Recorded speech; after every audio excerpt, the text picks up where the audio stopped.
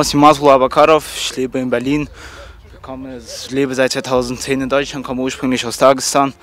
Womit ich angefangen habe, mit drei habe ich angefangen mit Ring, mache seit einem Jahr Ring. Kennen wir, geht nicht schnell, wa? Ähm, ja, mein Gameplan ist Boden und eine Submission, das war's. Äh, mein Name ist David, ich komme aus Hamburg. Mein Hintergrund ist Boxen und Ringen und ähm, mein Gameplan für heute wird sein, ich werde erstmal gucken, was ich im Stand kann. Dann werde ich vielleicht meinen Gegner auf den Boden holen. Ich weiß, dass mein Gegner sehr gut im Ring ist. Deswegen werde ich möglichst versuchen, ihn im Stand zu halten. Genau.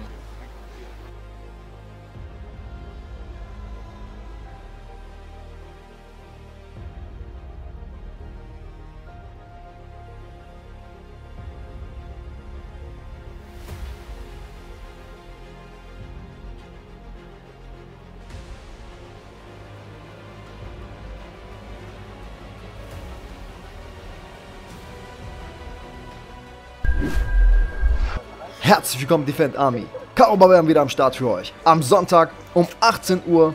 Was geht denn ab, Leute? Heute geht der David gegen Nick Matula ab. Ich werde ihn einfach als halber Nick nennen während dieses Kampfes. Nick hat schon 15 Jahre Erfahrung beim Ringen, hat auch schon MMA Erfahrung sammeln können. David hat schon einen Kampf bei uns, hat gezeigt, dass er auch sehr ringerlastig ist. Das heißt, beide haben ihre Ursprünge beim Ringen, sollten also sich gegenseitig aushebeln, was, was die Vorteile angeht des Ringens. Wollen wir mal sehen. Jetzt stellt sich die Frage, wer ist besser im Stand und sollte der eine den anderen runterkriegen, wer hat das bessere Jiu-Jitsu? Wollen wir mal sehen. Ich bin sehr, sehr gespannt. Von David haben wir schon sehen können bei seinem ersten Defend-Kampf, dass er richtig, richtig starke Fäuste hat. Das heißt, der hat richtig Bums hinter den Fäusten. Auch wenn es technisch nicht ganz sauber ist, kommt da ziemlich viel Schlagkraft dran. Bei Nick werden wir sehen, was er drauf hat. Er, ist, äh, er gibt hier sein Defend-Debüt. Ich bin sehr, sehr gespannt.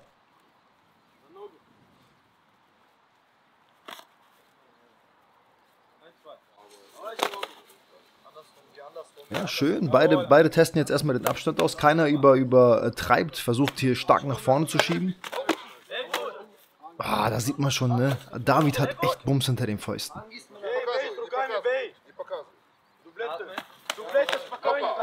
Oh, Nick hat genug, hebelt ihn schön aus, landet in der Guillotine, aber die Griffe von David sind nicht zusammen ähm, und, und, das bringt dann nicht so viel.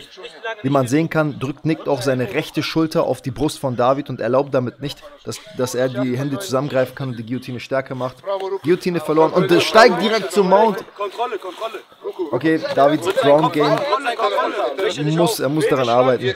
Jetzt auf Mount ist super gefährlich. War unnötig, dass er ihn einfach so auf Mount lässt. Aus der Guard direkt heraus.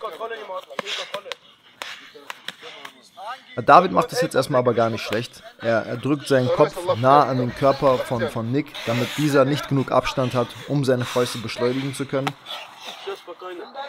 Kontrolliert, kontrolliert. Ja, beide, beide Hände. Beide Hände in die Hüfte. Beide Hände in die Hüfte. Hochdrücken und drücken. Ja, David schlägt immer wieder von unten, das sollte er nicht machen. Das bringt nicht viel. Kontrolle. Eine Minute 30 Sekunden. Ja, er ist schon fast raus. Er müsste. Da hätte David nur noch einmal weiter schwimmen müssen, das Bein wegdrücken müssen und er wäre raus. Jetzt aber eine Guillotine-Position aus der Mount.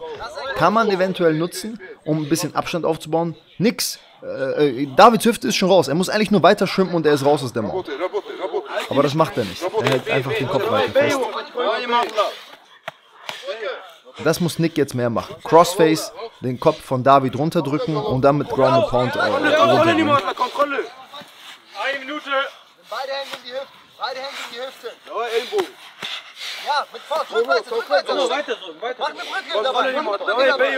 Ja, wenn David jetzt wirklich eine Brücke machen würde, also so weiter an der Hüfte drücken, Brücke machen würde. Jetzt, oh, zum Amber. Oh, der sitzt. Oh, schaut euch mal die Überdehnung von Davids Arm an. Oh, da wäre mein Bein schon, äh, mein Arm schon zwei, dreimal gebrochen. Was ist denn das für ein Wille? Was hat er denn? Oh, hätte mich auch gewundert, wenn er da jetzt rausgekommen wäre. Was für ein Camperwillen, der wollte einfach nicht aufgeben. Sein Arm war ja schon überstreckt ohne Ende. Schöner, schöner Armbar-Sieg von, von Nick. Aber auch Riesenkämpfer als von David. Ne? Also da, da, hätten einige schon, schon von viel, viel früher ge, äh, getappt.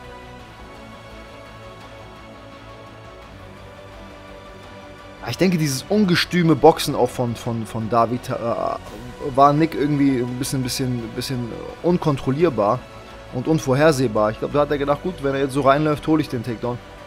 Den Armbar hätte man kommen sehen müssen eigentlich, weil, weil er sich sehr weit aufgerichtet hat. Aber das jetzt, guckt euch das mal an, guckt euch das mal an, wie überstreckt Davids Arm ist. Also mein Arm wäre da schon lange gebrochen. Lange gebrochen. Ich bin jetzt nicht so gelenkig. Und David schlägt ja auch noch einfach auf den Schenkel noch einmal. Guckt euch das mal an. Was ist das für ein Kämpferherz?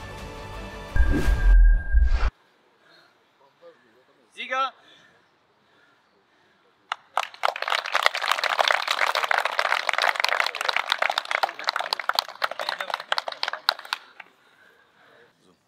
Hallo. So. Hallo und herzlich willkommen, liebe Defend Army. Ich habe hier den David an meiner Seite. David, du hattest auch äh, letzte Woche schon gekämpft gehabt genau. Und hast äh, dein Defend-Debüt gewonnen mit einem sehr schönen Sieg. Und äh, heute hat es leider nicht gereicht. David, du hast in der ersten Runde sehr, sehr schöne Dinger verteilt und äh, wurdest leider runtergeholt. Dein Gegner hat einen Takedown gemacht, genau. dann durch den Armbar. Ich dachte, dein Arm bricht fast durch, Bruder. Warum hast du nicht getappt? Ich weiß auch nicht. Das war für mich, ich habe gut angefangen und ich dachte, ich kann die Runde jetzt machen, überstehen noch. Und dass ich dann in der nächsten Runde wieder mit, mit richtiger Stellung reingehen kann und so. Aber hat dann doch nicht geklappt und ja, ja. sagen wir mal. Auf jeden Fall, du musst jetzt nicht enttäuscht sein oder so, David. Du hast sehr schönes Striking. Du musst nur noch an deinem Grappling, an deinem Ringen arbeiten, genau. wie du richtig aus dem Armbar rauskommst, etc. Diese ganzen Kleinigkeiten. Ja. Und dann ist sehr, sehr viel Luft nach oben. Genau. Ich danke dir nochmal, Bruder.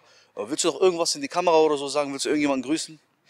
Nein, ich sag nur wieder, ich danke, dass ich hier sein durfte, dass ich kämpfen konnte vor so einem Publikum. Wirklich, heute war wirklich, Support war da und freue mich auf jeden Fall. Ja, gerne. Vielleicht sehen sich mal wieder. Ne? Danke dir. Danke. So, ich habe hier den äh, Nimatullah an meiner Seite mit seiner schönen Papacha. Äh, Habib-Style, ne? also. Habib-Style, Dagestan-Style. Nimatullah, du hast einen sehr, sehr schönen Kampf hinter dir. Äh, du wurdest in der ersten Runde von, der, von David mit ein paar schönen Dingern getroffen. Du hast dich aber nicht aus dem Konzept bringen lassen, hast direkt den Takedown angesetzt und den Armbar geholt. Erzähl, bist du zufrieden mit deiner Leistung? Ich bin sehr zufrieden mit, der, mit meiner Leistung. Ich hatte einen Kampf davor gehabt bei GMC. Ich hatte das Problem gehabt, dass ich Schläge bekommen habe, ich nicht geleistet, nichts gemacht. Aber hier habe ich es krass umgesetzt. Bei den Schlägen reingegangen, runtergeholt und die Submission geholt. Genau wie ich davor im Interview gesagt habe, ich werde den Kampf durch eine Submission gewinnen. Und ich hoffe, ihr konntet meinen Ring mir auch ansehen. Als du den äh, Armbar angesetzt hast, hat David erstmal lange Zeit nicht getappt. Wir dachten alle, der bricht sich den Arm durch. Hat sich das verunsichert oder wusstest du, der ist drin, der tappt gleich? Das hat mich schon verunsichert, weil ich dachte, ich will ihn in der ersten Runde haben, ich muss ihn haben und ich sehe, bewegt sich nicht, er guckt noch ernst. Was passiert hier jetzt? Entweder brechen die ab, weil ich habe gesehen, Armbar war richtig, ich habe seinen Kopf kontrolliert, alles war kontrolliert. Ich habe mich auch gefragt, warum das so lange gedauert hat, aber ja. es hat geklappt. Es Egal, im Ende hat es geklappt, ja. du hast gewonnen.